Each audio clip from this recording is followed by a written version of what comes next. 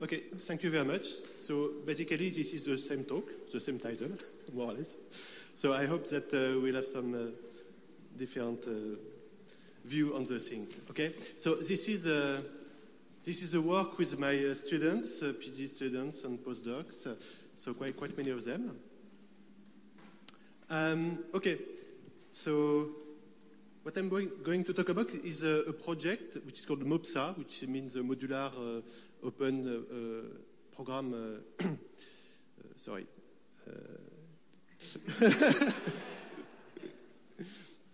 Modular open platform for static analysis. Okay, so basically, as, as usual, you get a, a set of sources that you put inside an analyzer, which is actually quite configurable. I will talk about how we can uh, have a bunch of domains inside, and you get uh, results which are currently just uh, text, not, not very nice yet.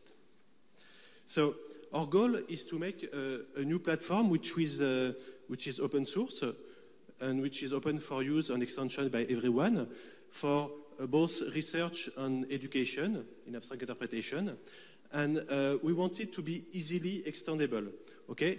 Either to new languages or new properties or new, uh, new abstractions. So uh, new kind of trade-off between cost and precision, but also new analysis goals. Okay, and we want uh, to be able to reuse everything that we've done already. Um, reuse abstraction. We develop new abstraction. You, we test them, and we can reuse them for new uh, new purposes. Okay, so uh, there are many things which are quite classic actually. So what we do is a, a whole program uh, abstract interpretation by induction on the abstract syntax tree. Okay, so we, we don't use the CFG, we use the, the abstract syntax tree. And in uh, not just one, but a, a, collection of many, many abstract domains which uh, communicate together. And we want to be sound by design. And uh, one of our targets, a, a very simple and classic one, is the analysis of runtime errors in C programs. But where it gets interesting is the less classic approach we, we use. So uh, I will focus on this in the rest of the talk, actually. So we want to analyze new languages uh, like Python, we already saw a little about it, and uh, smart contracts and others, maybe. These are the current targets in addition to, to C uh, we, have, uh, we have running now. But also, once you can analyze two different languages, maybe you can analyze programs that are written using the different languages at the same time. Okay, so we have a multi-language analysis where we analyze the language in Python using C libraries. Okay, and uh, beyond runtime errors, we're also looking into uh, interesting properties such as uh, non-regression for patches or uh, portability and uh, other other work in progress.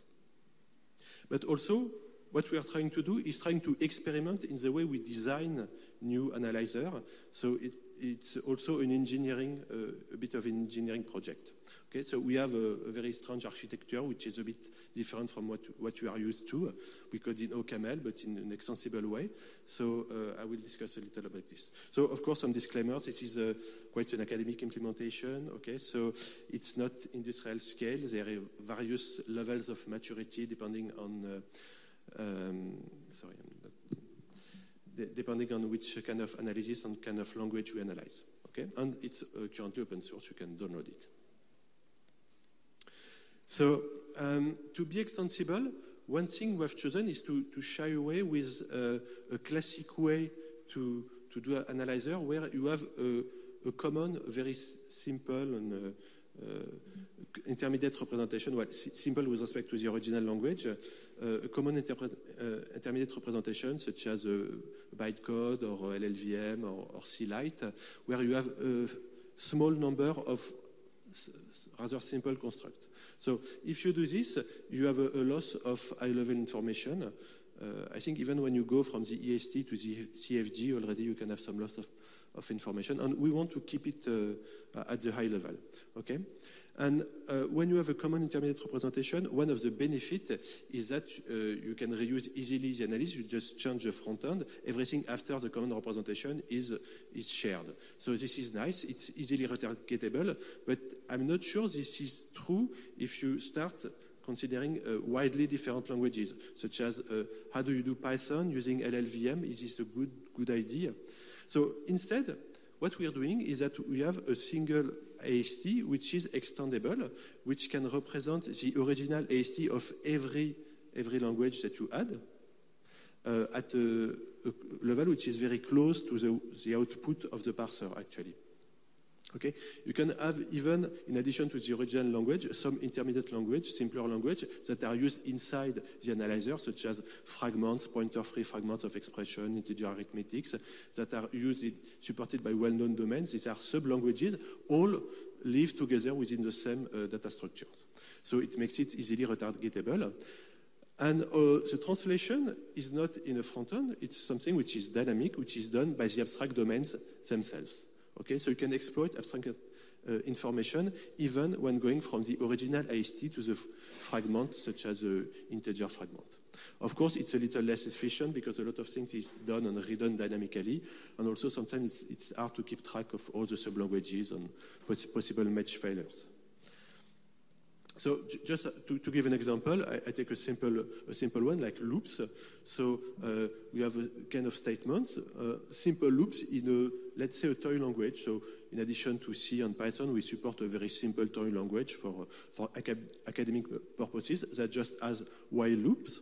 And it has an abstract domain that handle loops, just loops, and is just a fixed point with widening. But then you want to add C. Well, you add a new AST node for C because the for loops of C are not the same as the while loop of C. And you have also an abstract domain that will dynamically rewrite this into while loop and then call recursively the, the, abstract interpreter. And you can do this also for Python. So you have yet another kind of loops because Python loops are very complex. If you want to translate a, a Python loop into a while loop, then you get a, a, lot of statements. You have to call iterators, methods, and stuff. So this is done uh, dynamically by an abstract domain. And uh, it has the opportunity to do some optimization. For example, if it detects that it, it's working on ranges or not arbitrary objects, then maybe it will, it will give something which is uh, easier uh, for uh, the, the universal loops. Okay? So we translate into universal loops, and neither of these domains has to deal with fixed points or widening. Everything is done in the universal loops. But if you want, you can also uh, embed widening and do uh, ad hoc uh, computation in this, in this abstract domain. It, it is your choice. Okay? And I, I said domains because actually iterators in MOPSA, they are just just one kind of domain where you, you, don't have any internal abstract state. This is just the difference. Um, another tool that I found very useful uh, which also is, is, close, I think, to what, uh, to what Pietro presented, is uh, expression rewriting. Okay, so in MOPSA, we use a classic ways for domains to communicate, like reduce products, uh, uh, but we also use this uh, expression rewriting. And the idea is that a domain can, as its purpose, rewrite expression that, that, that, it gets into simpler expressions, maybe sometimes introducing variables, maybe sometimes doing some abstraction. It's not just rewriting. Sometimes it loses some information. And uh, then feed it to the rest of the analysis, uh, which is, is, unaware of this abstraction. Okay? So maybe I could just give an example. Uh, suppose that you, want to do a string analysis and you want to analyze the, length of strings. Well, actually, you have an, we have an abstract domain that, remember, for each uh, character array, a predicate saying there is a zero in this array and it's at this position, and this position is denoted by uh, some variable which is introduced by the domain for all the numeric domains to use afterwards. And uh, whenever there is some access into this string, like i of a equals zero test, it will rewrite this part of the expression. Depending on the internal information it has on whether some predicate saying that the string holds or not, and um, in this case, we are talking about C strings, where the, the, zero denotes the length of the string. It will translate this access into some test on whether the index is less or greater uh, than the length of the string. So it will say this expression will turn into, it will, it will be replaced in zero in the sub-abstract state where i is less than the length of the string, one if it's equal, and I don't know if it's greater because maybe there are other zeros after the end of the strings. Okay, so with expression rewriting, an important fact is that we do a case, we can do a case analysis. So a domain can say, in this case we do this, in this case we do that. Okay. Um, So how much time do I have? Only, only five minutes. Okay. So I have a few examples then of uh, how we use this. Uh, one example is a C analysis.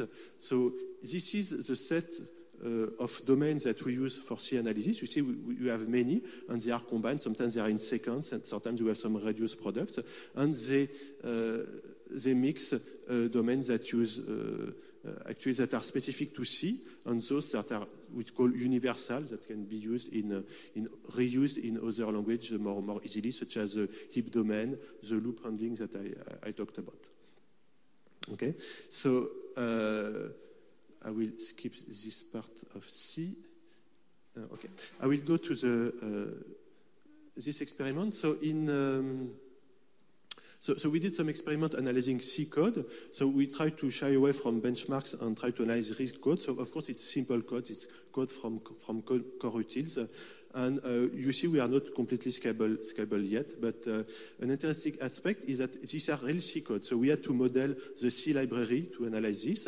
And uh, something I, I, skipped, but we developed a specific language to model C libraries uh, using contracts like uh, requires, assumes, but they are not used to check the C library code, but to replace the code we don't have with a specification that is used at each call point. And another interesting aspect is that when we analyze a program, we try to analyze it in a sound way in all possible contexts. So for all possible set of command line arguments. So main is called with a symbolic string arrays of, uh, of string of arbitrary size. Okay, let me talk about uh, maybe Python a little. So Python is a very complex language. And if you want to analyze even a very simple program, such as a function that returns the sum of two, two numbers, uh, well, maybe they are not numbers. So maybe you have a, a, lot of methods that are called. And actually, if you look at the, uh, the semantics that we wrote, uh, this joint work with Raphaël Monat, who is here, the semantics that we wrote is, is, really, really complex. So if you want to do this, it's very good to have a, a precise uh, uh, control on flow uh, and context-sensitive analysis, because the, what is executed depends on the dynamic type, which is inferred on the way during, during the analysis. So infer the type, then you, you know which, uh, which function to call, uh, and then you can call the function and continue the analysis. And in this case, expression rewriting and case, case analysis is useful. So uh, this is the, the, the, combination of domains that make up the Python analysis, and you see that we reuse a few universal domains, and we add some domains that are specific to Python. Okay? So now let's go to uh, programs mixing C and Python. So sometimes you have a program, you have a Python program, okay, which uh, actually calls some, some method of some class, but it actually calls C code because the, the, uh, the module is not written in Python, it's written in C. So we try to analyze this kind of programs because they are quite classic. Actually, a lot of Python programs are, are using C libraries for, for efficiency.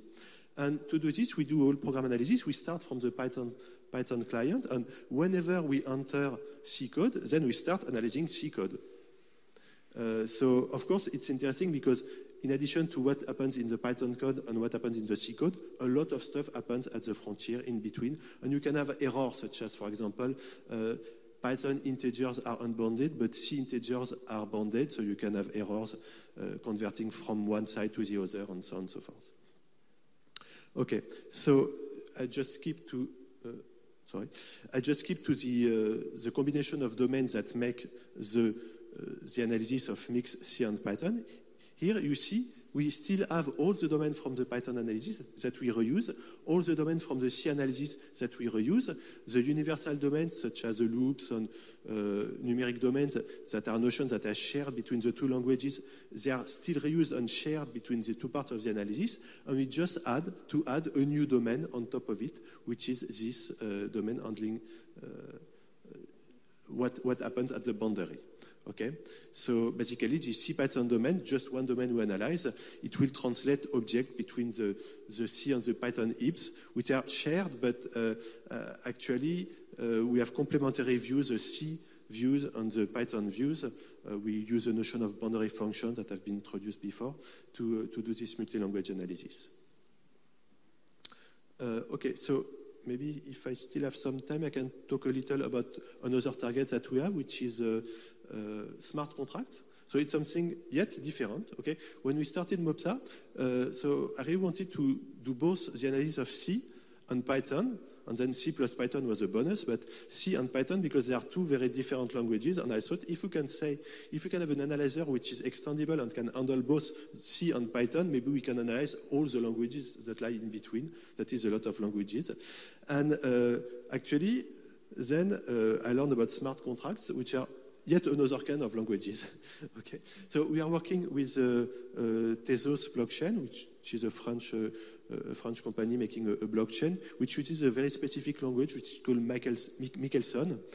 And uh, it's a purely functional language where uh, you have the data which is stored uh, persistently on the blockchain, and a smart contract is, is just a bunch of functions that take the data and then do some computation and output the data on the blockchain. It, has a, it is inspired by uh, ML, so it has uh, abstract data types, such, such like this. But especially it has a very unusual execution model where each each execution here is atomic. There's no function. When you want to call someone, you just have to write a continuation. So it's a continuation-based computation uh, language. So it's really strange. And also, this is a high-level language, but actually, the real one is a low-level uh, stack-based language. So uh, we analyze the stack-based language also. And another interesting aspect, uh, I, up to now, I only talked about safety properties. Uh, we try also to do more, more, complex properties. In the case of smart contracts, the language is so safe that there is no, not much possibility for runtime errors. So we have to go to more functional uh, properties, such as security uh, properties, that we try to handle with Mopsa. Okay. Let me just conclude now. We have an analyzer which we call Mopsa, which is open source, which is compositional, flexible, uh, it has a few original de design choices, so we wanted to make something a little different. So I don't know if it's better, but at least it's, uh, it's different. And we use it in a bunch of research projects on C, MOPSA, Michelson. We have a lot of future work, okay? We would like uh, especially to be more scalable, to maybe to have a modular analysis, like analysis function by function, uh, do more things on security, uh, maybe add some additional domains, and enhance the coverage that we, we already uh, have for C and Python. Thank you, Antoine. Any question? Yeah. So, uh, historically, the abstract interpreter and the abstract domain were completely separated.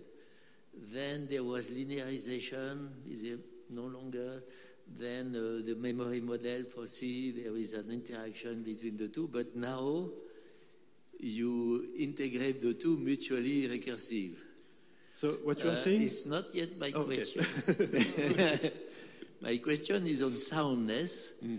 because you no longer reason on the semantics of the language, but on the semantics plus all transformation of the program that maintain the semantics. And this is much more difficult. Yes. And my question is, do you do it re really or you skip this uh, soundness stuff? Okay, so uh, the idea of basically the abstract domain transforming the expression and feeding to the other domains, it's something indeed that started uh, with Astrée. We already had this, and uh, it, this is the logical continuation. And this, I think this takes it to uh, another new level. So in Astrée, we, we made the soundness proof, and here uh, we have we think it is sound, but uh, there is indeed, uh, this is a challenge, there is indeed work to do uh, to, to have the proof in a, in a nice framework. And this is something we have been working on a little, and we should pick up the pace and do more on this. I agree, this is a challenge. Yeah. And I have a second question. Uh, uh, on, on the libraries that we have seen, they are all public and no public contributes. so some, some libraries in the world, uh, you, you, have a lot of people that contribute, but on abstract interpretation, there was Apron, there was one guy in uh, Switzerland, uh, that's all. That is, uh, can you explain why? So open source abstract interpreters are rather recent, I think. Uh, just an abstract domain, for example. On abstract domains, Why, why, why are there no contribution outside the They are scared. Uh, People are scared. Scared. pe- people are scared. yes, that's a good, good answer. But, Okay. Doing. but I think things are changing because uh, okay, so Maybe there are no more open source analyzer, and uh, I think maybe engineers in companies are already using this all the time. Now you have companies making static analyzer,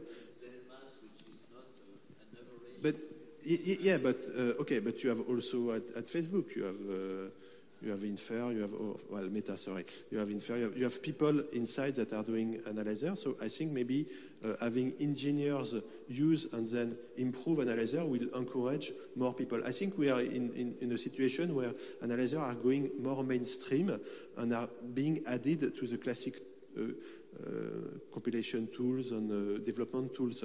I think it will get better. I hope so. I think it's a slow process, but it's not doomed. I hope. Okay, so thank you again, Antoine.